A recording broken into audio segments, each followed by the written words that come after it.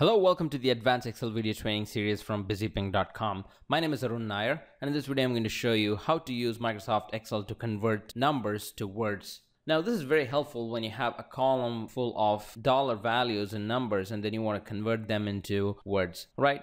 So to accomplish this, you need to use the Microsoft VBA language. Don't worry, you don't have to learn that language. I'm going to uh, make it very simple for you. All right, so first go ahead and push Alt F11 and this will open up the Microsoft Visual Basic for Applications window.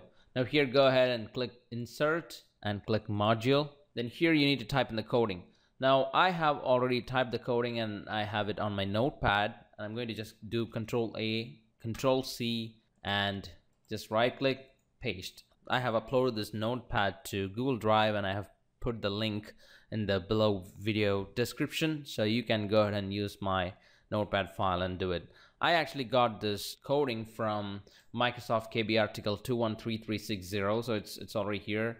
Uh, but in case if Microsoft removes this KB article, you still have it on my video. Okay, so once you do that, now you go to your spreadsheet. Then on the top, type uh, numbers or numbers, and here type just words. Uh, it just doesn't matter. You can type anything. It's just header and I usually do a bold and center. Now let's see I type 23.5 and here uh, the name of this function which I've given here is spell number. So you just type equal to spell number open bracket select this cell close it and you can see $23.55. Now we can keep doing 45.6, 45.65, and 78.95, 1235.32. You can just keep adding any values you want and just double click here and it'll auto populate. So you can see $45.60, $45.65, and so on. Now, if your uh, country has a different uh, currency value. For example, I'm from India and I have rupees and paise. Now the I can go ahead and just replace dollars with rupees and uh, cents with paise, but there's a little catch here. Uh, now dollar is sing singular and dollars is plural. Uh, similarly, rupee is singular and rupees is plural, so that that's pretty easy.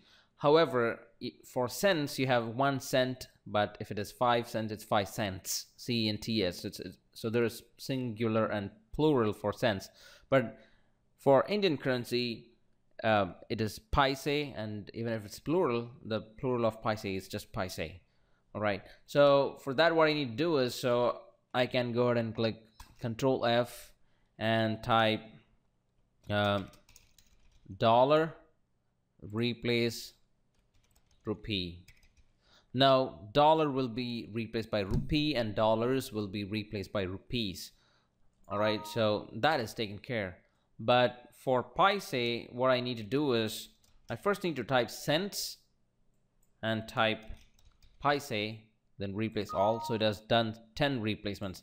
Now then I have to do for cent and still keep the replace with value as paise replace R and I have one replacement. Now if I go back here and um, if I actually just drag it again, it, it's all changed from uh, dollars and cents to rupees and paise. All right, so now if you have just 1.25 and if you want to test that, just drag it 1 rupee and 25 paise. So paise still remains as singular the rupee it, it changes between singular and plural. Right? Uh, now if you want to save this workbook what you need to do is go to file save as. Now this is a macro coding so you will have to save it as a macro enabled workbook. So select excel macro enabled workbook and I can go ahead and save it. All right. Uh, so I hope this video was informative to you. Thank you for watching and please do not forget to subscribe to my channel